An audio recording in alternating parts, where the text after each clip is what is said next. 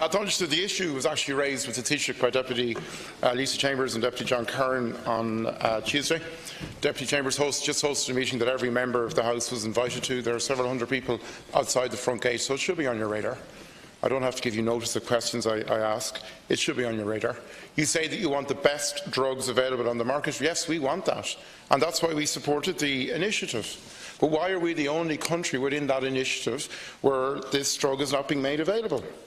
Why are the 25 children, if they were living in Belgium, if they're living in the Netherlands, in Luxembourg, in Austria, or at least 20 other countries, why would they have the kind of future that's being denied to these 25 Irish children?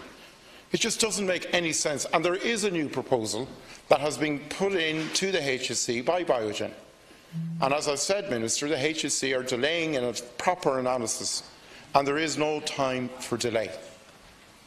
Families see the life-changing possibilities of this drug, and those life-changing possibilities are being denied to them by bureaucracy, a bureaucracy that doesn't understand what it's like, a bureaucracy that should go out to the front gate and talk to these children.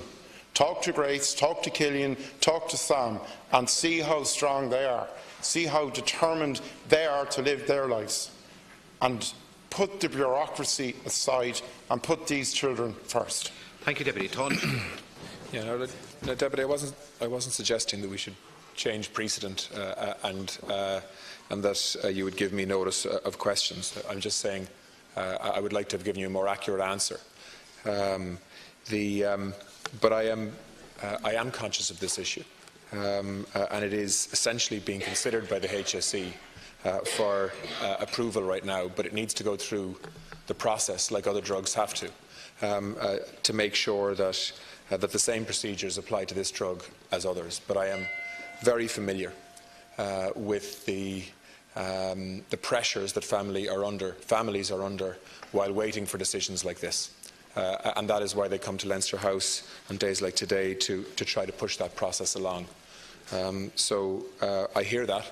Uh, and I will speak to Minister Harris, who is not the decision-making person here. Uh, there is a process that needs to be gone through for a drug's approval. Uh, as I said, there are many other drugs that have been approved through a similar system this year, uh, and uh, a decision will be made on, on this particular drug uh, as soon as we can make it.